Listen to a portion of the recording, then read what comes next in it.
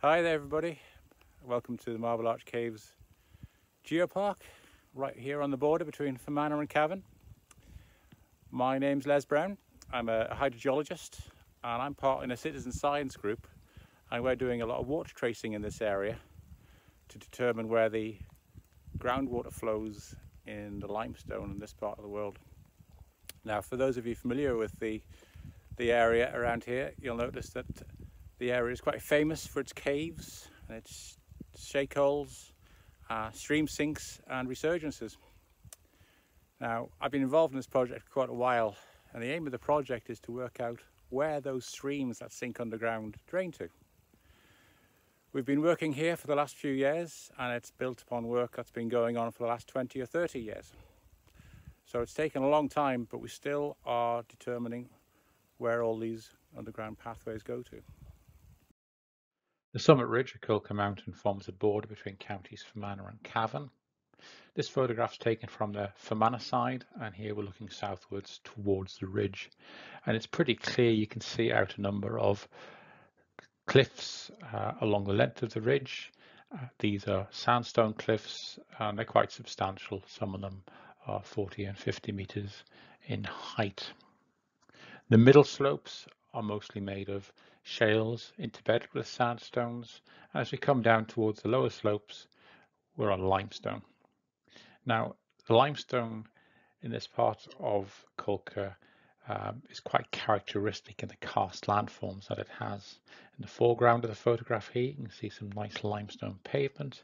And just a bit further back, you can see a number of enclosed depressions or dolines. And these are points of recharge where surface water sinks underground into the aquifer.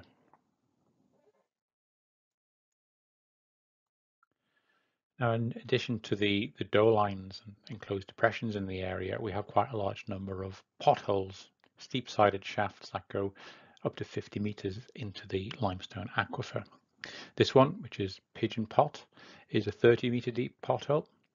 And just to the right of the caver there, you can see some water sinking um, underground. Now, this photograph was taken in the summer if this photograph was taken in the winter, you'd see an absolute torrent of water cascading in a waterfall into the cave system below.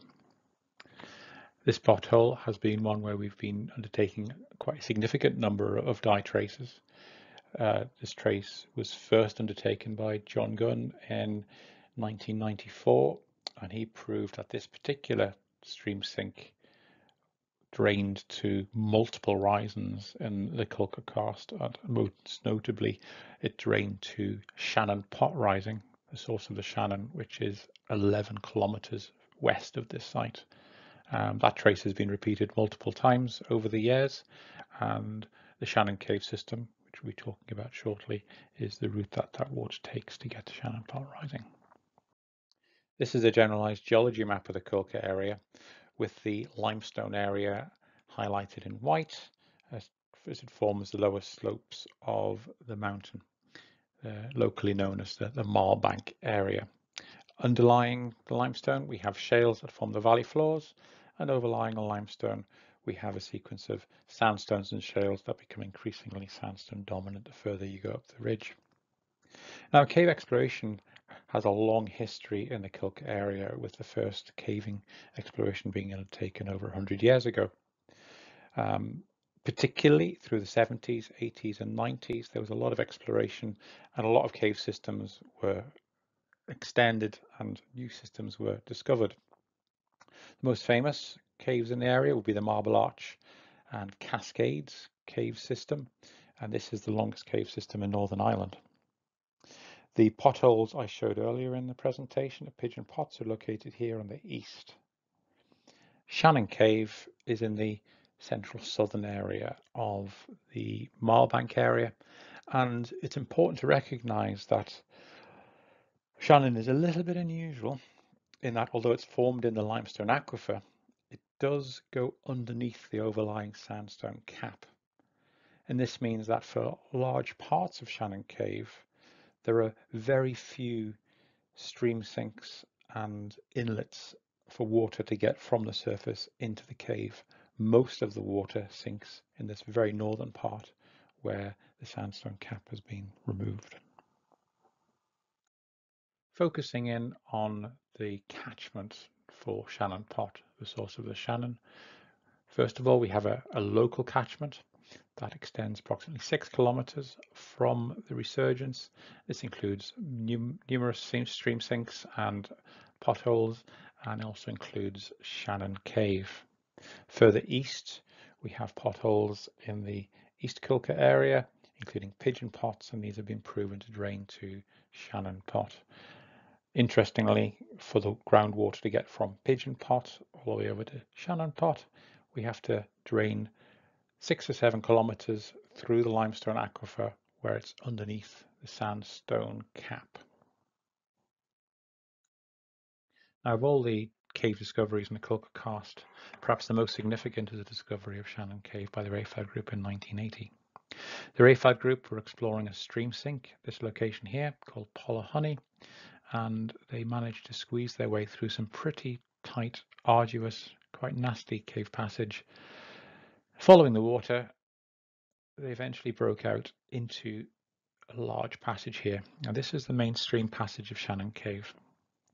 At the same time as the Rayfad group were exploring the cave, John Gunn was undertaking tracer tests in the area, and from the exploration and the tracer tests, it became pretty clear that Shannon Cave was part of a much larger cave network and the drainage to that network was extensive. Between 1980 and 1995, the Rayfad group explored a substantial part of the cave system, getting as far downstream as this point here. Now in 1995, unfortunately, the entrance to the cave collapsed, which meant that nobody could explore the cave system. In 2004, long-term dig by the Shannon Group broke back into Shannon Cave. And so since 2004, cavers have been back in the cave and exploring it. Now, the cave itself is quite a, a, complex combination of cave passages. It has multiple streams coming in, uh, which all flow to a central mainstream passage. But one of the characteristics of the cave, pretty much throughout, is that you've often got quite a high sequence of passages above the active streamway. In places, the passageway is quite narrow, but very tall and quite sinuous. In other places, the passages are much wider. You have a lot of collapse associated with them from as they've been developing. But this vertical range in the cave is, is quite unusual for Shannon Cave, and it is an indication that the cave has perhaps evolved over quite a long period of time as the passages have cut down and incised, becoming these quite characteristic canyon shapes.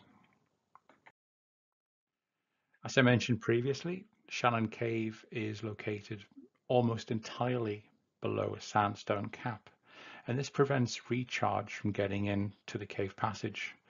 The runoff on the surface simply can't penetrate through the sandstone and runs off further downslope to where it gets the limestone. So we don't get any stalactites or stalagmites occurring in this part of the cave because simply recharge can't get through from the surface protected by that sandstone cap. So it's quite characteristic of Shannon Cave to have when you especially when you go into the sandstone cap you just don't see any of the speleothem.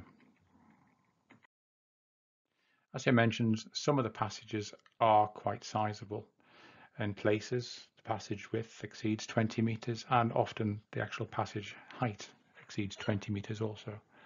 When you get passages of this size, there's often quite a lot of collapse from the roof on the ground and you can see in this chamber here large angular limestone boulders that have fallen from the roof as the cave has developed and stream has undercut them.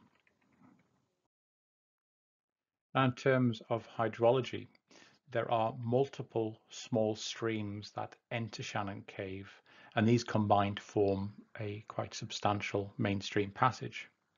The first stream that enters the cave system is over here on the eastern side, and this is the Tullyard stream, which sinks down a 33 meter deep pothole into the cave system and can be followed for part of the way. And then it can be it's rejoined in the head of this passage here. After a short while, there's a small streamlet that comes in. So the passage is gaining in flow all the time. And then at this point here, we have the honey stream entering. Now this is quite a substantial stream and the flow in the passage picks up instantly at this point, this confluence. And that water flows downstream through quite sinuous passages all the way down to this point here, which is referred to as Mistake Junction. And this is where the mainstream passage joins with Mistake Passage. And at this point, the flow in the river in the mainstream passage doubles as there's a, this is a quite a sizable inlet. There's quite a lot of water coming in through Mistake Passage, and that water continues downstream. There are very few um, in, inlets or streams joining the cave system down gradient from here, but the flow is quite substantial following Mistake Passage with those two tributaries uniting. Now, Mistake Passage is worthy of further note because this is where the water from Pigeon Pot, which is 6.81 kilometers further east-southeast, that's where this water comes in. And this trace has been repeated on multiple occasions. Um, and it's been proven to have a fairly fast flow path to get to this point. It travels the 6.81 kilometers in three days and three hours, which is a, a rough average linear velocity of just over 100 meters per hour, just to give you an idea of how fast the water will flow in cave systems such as this.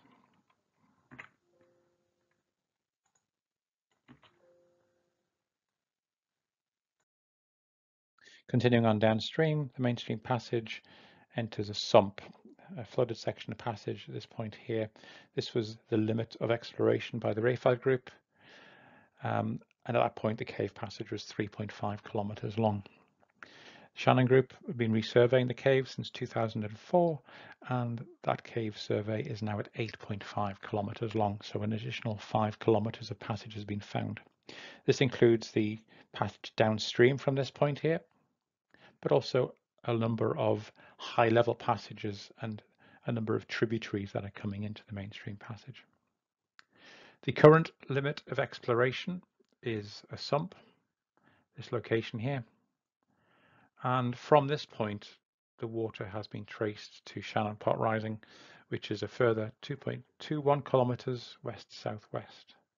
Now the water gets from the terminal sump to Shannon Pot relatively quickly. It takes 12 hours for the water to get to the sump um, considering the distance, that's an average linear velocity of approximately 200 meters per hour, which is very high and some of the, one of the highest um, flow uh, average linear velocity flows that we've recorded in the Cuilcagh Karst. Now, as Shannon Pot rising, water upwells from a depth into this pool and then flows down the channel behind and below the bridge you can see in the distance there. This photograph is taken in low flow. You can see the surface is quite calm and the water level is fairly low.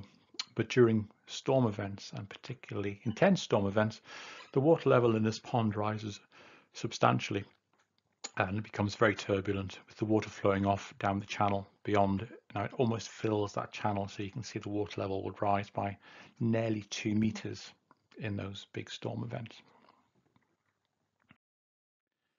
Now we've proven comprehensively that the catchment to Shannon Pot Rising, the source of the River Shannon, is quite extensive. In fact, it extends as far as 11 kilometers away to Pigeon Pot in the east.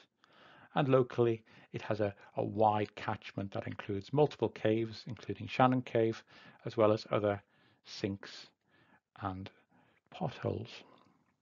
Now, in more recent times, we've been focusing on the northern part of the catchment. Uh, one cave in particular, Paul Llangollen Cave, has been known for, for many decades, but it has a particularly complex, complex hydrology. It has multiple um, streamways. Um, and further to this, in the last three or four years, a number of new potholes have been discovered in the area of the Burren Forest. And we've included Paul Llangollen and these potholes in the Burren Forest to the water tracing program to work out how they fit in with the catchment divide between Shannon Pot and the water that drains northwards to the River Erne. Now part of the problem with working out where the flow paths go to is that although we have caves in the area, you can't necessarily follow the pathway, follow the flow in the, the underground streams all the way down. Quite often the caves get very small, very tight, and you just can't progress any further. So we've been using water tracing, which is using colourful fluorescent dyes to work out where those waters come back out on the surface. But also, as you'll be seeing from the tracer tests we're doing today, quite often the caves themselves have multiple streamways and it's quite difficult often working out which streamway drains from which part of the surface. So part of the test today is to try to work out a particular flow path from a cave entrance, a cave stream sink at Polnagossen, which is just a kilometre away from me here. And we're going to see how far we can follow that streamway into the cave, but also use dye tracing to work out where that water comes out on the surface. Now there are multiple entrances to this cave, but unfortunately at the moment there's only one that you can get into. That's the one you're seeing in front there, on the right. Other entrances, like the lower one, which you can see in front of yourself now, have filled in over the years. And sadly, they've been filled in with a lot of refuse that has been dumped at the location. And that's been a particular problem with this cave. We've had a, a lot of historical dumping uh, over the, probably the last hundred years. And it means that there's a lot of rubbish is built up at the entrance. And unfortunately, every time we get a storm event, every time we get runoff, this rubbish gets washed into the cave.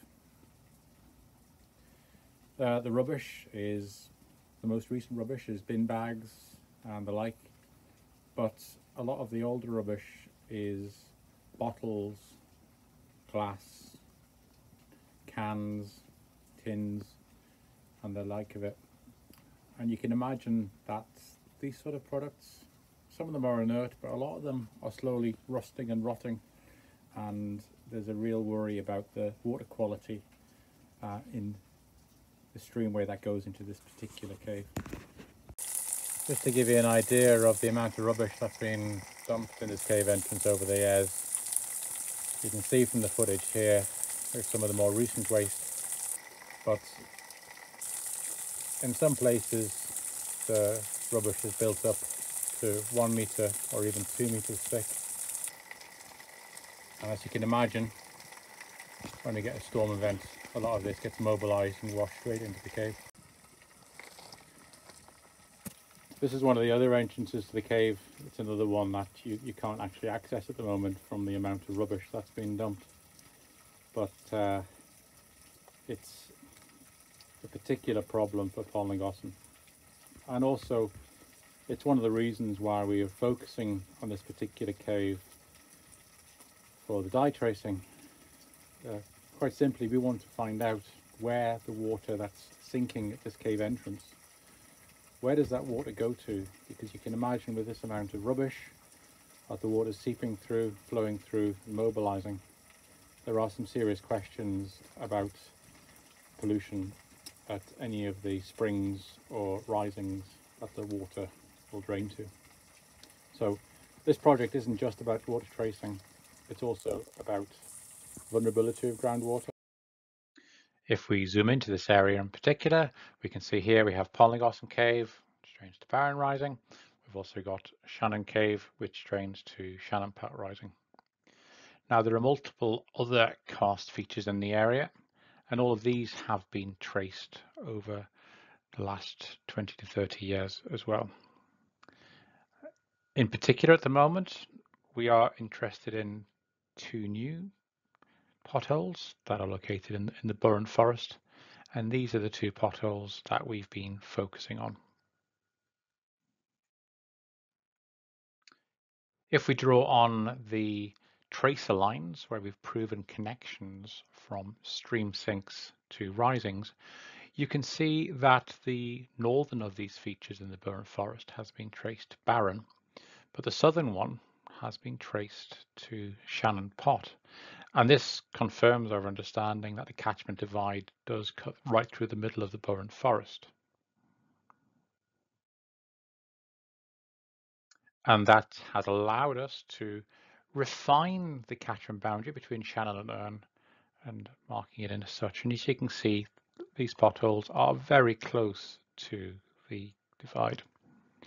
Now I mentioned also that we've been doing some repeat tracing tests in Polnegossan Cave. Just as a reminder, Polnegossan Cave has been proven to drain to Barron Rising. This is a survey of Polnegossan Cave. As you can see, compared to Shannon Cave, Polnegossan is much shorter in length. It's under two kilometers long, and most of the cave is filled with mud banks and mud deposits. But from the entrance, you can follow surface water stream for a reasonable length through the entrance series and down to where the waterfall cascades down into this chamber. Now in the bottom of this chamber, the water disappears into the floor where there are boulders and can't be followed. Elsewhere in the cave, there is a small streamway that comes in in the southeastern corner and drains through this series of passages here before exiting. And this is the current limit of, of exploration. There's no dye tracing being done determine where this water comes from, nor where it goes to. And that's part of the, the research we're doing at the moment, which we'll talk about shortly. There's a third area where there's water in the cave, and this is near the northern extent of the cave here, where there's a static sump, essentially a pond of water that doesn't move. A few photographs of Polnegossan Cave. From the cave they're standing there, you can see how muddy the cave is. And in fact, when you get your eye in, you can see that the floor is mud and you can see where the mud is extending up the sides of the passage. Now, although we have some stalactites growing down from the roof at this point, there is the remnants of mud in the ceiling and the sides indicates that at some point this entire cave was filled with mud and it's only been cleared of mud where a stream has reactivated and washed it out. So here we have a sequence of the passage being filled with mud, stream washing the mud away, and stalactites forming. Here's another great photograph from Polnegossan Cave. And in this one, you can clearly see that the floor is a very large mud bank. And that mud bank has stalagmites deposited on top. So stalagmites post-date the mud in the cave. Interestingly, if you look at the roof, you'll see some quite interesting structures. These are anastomoses, and these structures form in the cave when you get these mud banks filling the cave. And when water starts moving on top of the mud, it dissolves upwards into the roof and develops channel structures. And that's what we have here. Again, putting together the sequence of the cave, the anastomoses have formed, and then subsequently stalactites have started forming, dripping down in here. So the mud in the cave predates the stalactites and stalagmites. And in this particular case, the mud banks are still being eroded away by streams.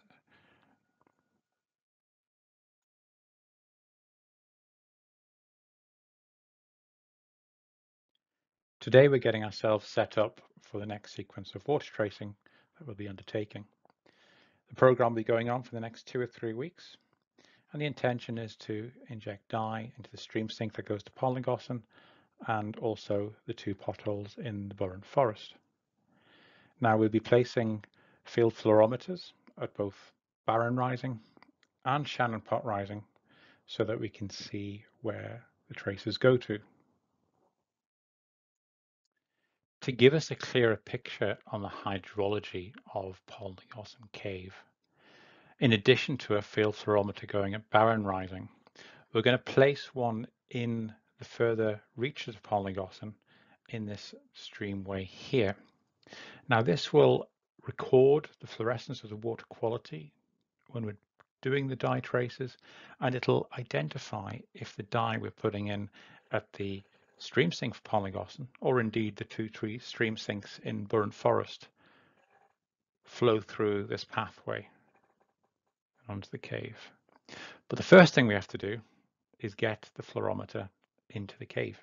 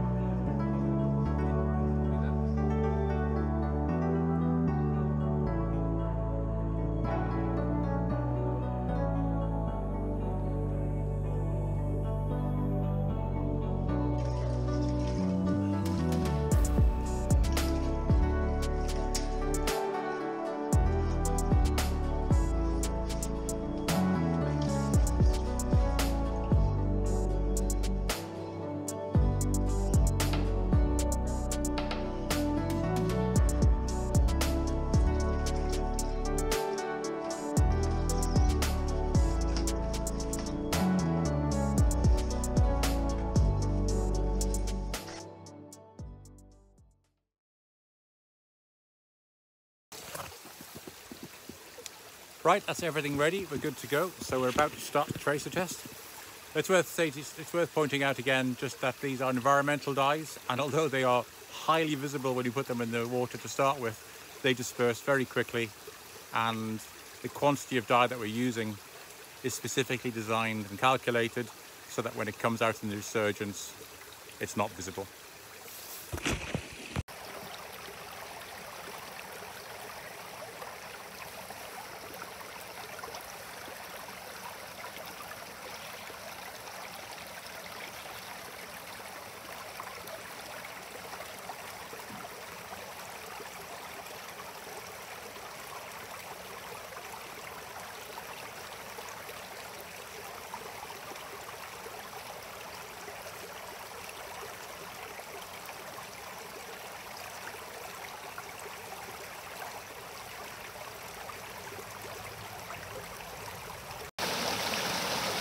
We can see here that the stream is washing the dye along its length.